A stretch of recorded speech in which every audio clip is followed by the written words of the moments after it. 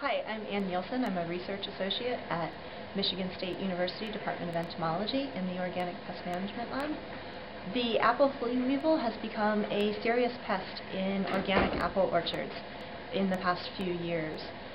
The damage that apple flea weevil causes is occurs at three different time periods. The first time period is during green tip and pink when the adults feed on the developing blossoms and feeding at this time can cause uh, the blossoms to abort and fruit, uh, entire fruit loss. Our, some of our organic growers have experienced greater than 90% fruit loss in some of their orchards.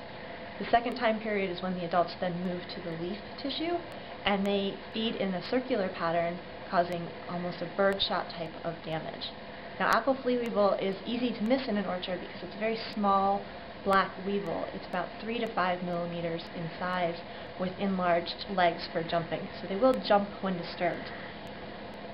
Um, the third time when damage can be noticeable is when the larvae, which are miners in the leaf, will migrate to the leaf margin and pupate on the outside. And at this time, this pupal blister looks like sulfur burn in an orchard.